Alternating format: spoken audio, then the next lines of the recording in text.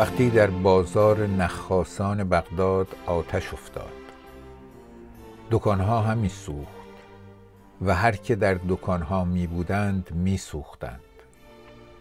زیر یکی دکان دو غلامک بودند نیکوروی و قیمتی. آتش گرد ایشان گرفته می سوخت و نخاس از دور فریاد می کرد و می گفت هر که این دو غلامک بیرون آرد از آتش هزار دینار به وی دهم. خلق گرد آمدند به نظاره و هیچ کس فراز آتش نمیارست شدن.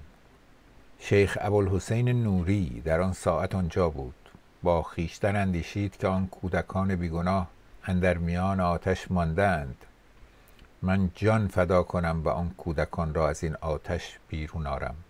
مگر ایزد تعالی به قیامت مرا از آتش دوزخ بیرون آرد. دامن گرد کرد و گفت بسم الله و پای در آتش نهاد و آن دو غلامکان را دست بگرفت و از آتش بیرون آورد که یک موی از ایشان دیگرگون نشده بود. خلق چون آن بدیدند شادی می کردند و خداوند غلامان بیامد و در پای شیخ افتاد و پیش وی روی در خاک مالید. شیخ ابوالحسین گفت شکر خدای را کنید. من این که کردم از برای خدای عزوجل کردم نه از برای تو کردم. و مرا بر تو بدین باب هیچ منت نیست. گفت پس باش تا آنچه پذیرفته ام بدهم.